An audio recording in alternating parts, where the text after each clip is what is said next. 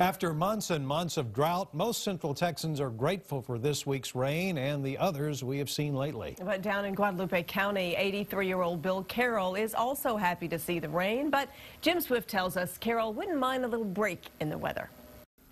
You strike me as a pretty tough old boy. Well, I used to, I used to was. 83-year-old Bill Carroll didn't always carry himself with a cane. Fact of the matter is, when he had a restaurant on this very spot of land some years back, he had to deal with drunks who suddenly showed up and started harassing his customers. And I'd jerk them up by the stack and swivel and take them outside and beat the hell out of them. And I hurt one of them real bad. I mean, bad, bad. Nowadays, Carroll fights a different set of ruffians. I have uh, beginning stages of dementia, and I have the middle stages of COPD and second stage of lung cancer. He also has some allies in that fight employees and volunteers from the only nonprofit hospice center in nearby San Marcos. One of them is volunteer coordinator Abby Hurst. How are you?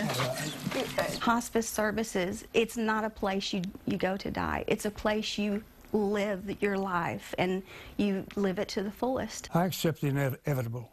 I mean, you got to go, you got to go, you know, when your time's here. But in the time Bill Carroll has left, he often thinks about a ride in a hot air balloon, something he's just never done.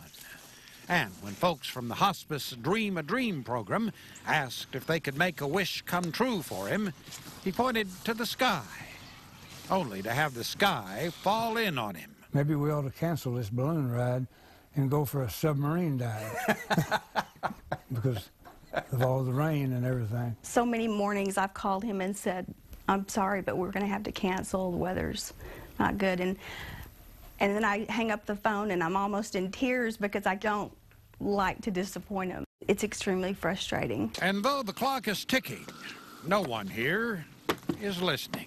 I just know that it's going to happen because it's the right thing to do and it's going to happen. Yeah, the weather can't keep up like this forever. I mean, it'll dry up. Jim Swift, KXAN News.